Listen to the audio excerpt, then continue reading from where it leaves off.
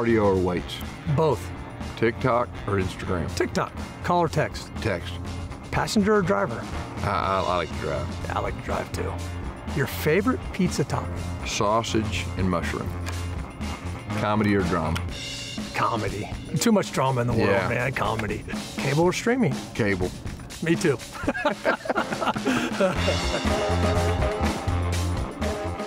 All right, Terry. Why did you call me about this job? Well, I knew you weren't busy. I did have a lot of time. You're right. Uh, no, I, you know what? I want to win. I know with your background and us working together before that uh, you can help this program win and wi- win it at a high level. Well, I think I told you this before, but right when you got hired, you know, I told my wife, said, if Terry calls, we're going. It, it was probably about, I don't know, 30 minutes later, you called. I said, that was Terry. Yeah. So it, it was a great moment. Why do you think UCF can be the best program in the country? I- I think everything's set up.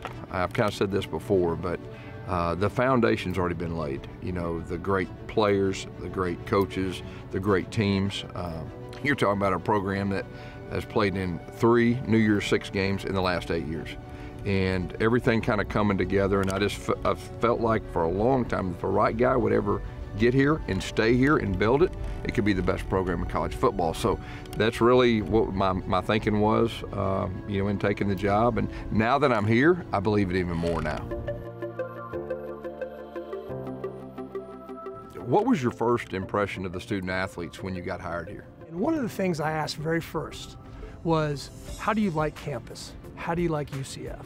I go, do you guys enjoy going to school here? Yes. I mean, it wasn't, there was no like, uh, I'm on the fence. It's like, yes, we love it. And, and that stood out to me how happy our players were too when I Yeah. first met met them here. And of course, they went without a head coach for a month, and not one of them went in the portal. And that's amazing. Isn't that, that's, that's saying a lot. It, says a lot. It says a lot about that, you know, just they like each other. This is a great place. And that's kind of what stood out to me in my initial meetings, too. So, Terry, you know, we've talked about having a chance to be the best football program in the country. How about the, the rest of the athletic programs here? Well, I think we have the resources to be to win a national championship in any sport we have. Um, as we continue to build our vision for the facilities and for what Alex Cartwright wants as from an academic mission standpoint, um, we have the best coaches, I believe, in the country that are already here and are committed to, to, to build this program. We've just got a lot of dedicated people that really believe that we can be one of the best athletic programs in the country. You know, a lot of people ask us. Yeah. I don't know, at least they ask me, Yeah. ask people like you, how do we define success? I'll let you go first. Yeah, success to me is, um, first of all, is having a goal as a team and a dream and achieving it and doing everything you can to achieve it. And then the second part is preparing for life. Yeah. And uh, so it's kind of a two-part thing for me uh, that really kind of go hand in hand. Yeah, and I, and I kind of look at it along your lines as being the best you can possibly be. Not having success at any one moment in time helps us learn and helps us get better. You know, I know people ask us, what's your greatest fail- failure? Um, I don't think we look at any one moment as a great failure. We mm-hmm. look at it as a learning opportunity. Yeah. So even though people may look at it on the outside, look at it, hey, that's a failure or he didn't do well, we can learn from it and say, you know what, I'm going to be better because of that moment. Mm-hmm. And that's how I look at Yeah. I, I know for me, from a coach's standpoint, like probably my biggest motivation is from losses or a big loss. And Sure. you know, I'm the type that I don't think about winning championships or the past championships. You know, I think about a couple hard losses that way back when, even one from high school in the state championship game, that I probably think about once a week. But it motivates me. So I just try to use those learning experiences, those negative experiences, uh, for positives in the future.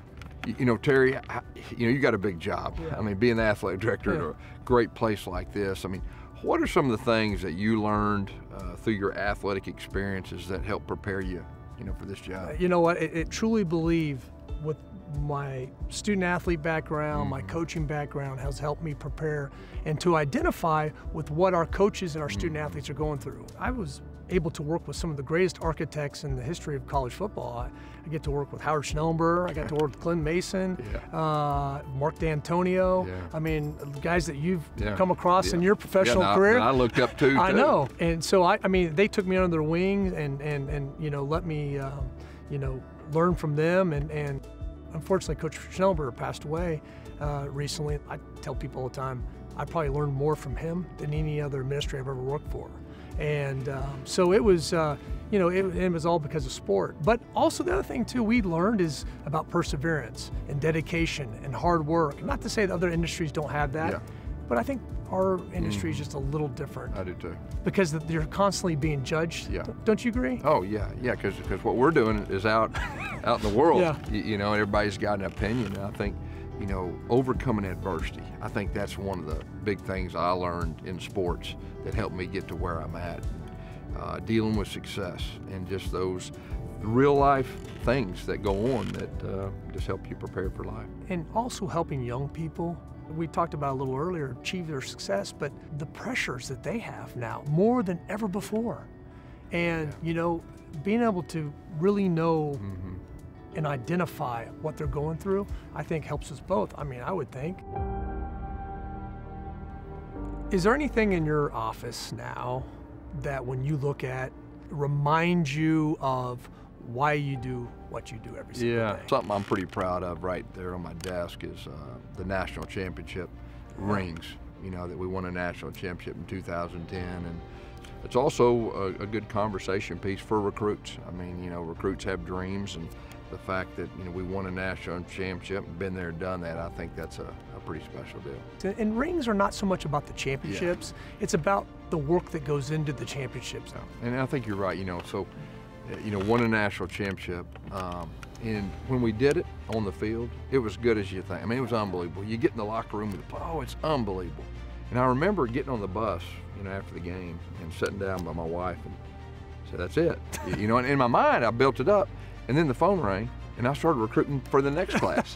so it helped me understand you got to enjoy the process, like you're talking about. The process of everything going like this and achieving it. Uh, that's the fun part. And that's why I told our coaches this other day. I said, guys, we're going to win a national championship here. And right now, there's stuff that we don't have that we're going to get, but the process, enjoy it. Don't take anything for granted. And so that's just always something that stuck out to me. You know, you know, we talked a lot about football and Yeah. competition and, and Yeah. UCF. You know what? Let's let's let's throw something out there. Is there is there something that you want to do before you die? You know, really, uh, what comes to my mind right when you say that, I want to win a national championship right here. That's what I want to do, and, and that's really Let's go. Yeah, let's go. Let's go. That's that's on. what's on my mind. Yeah. And this situation, I've said this before, it fits me perfect. Yeah. I've kind of got a chip on my shoulder. No shoulder. question. Our program me too. has a. Yeah, you got you definitely have a chip, and so that's Yeah. why I think us all coming together at the right time. It just feels special. And I think everybody around can kind of feel it. You know, we say the future of college football is here. Uh, that's not a marketing deal for me. That's real life.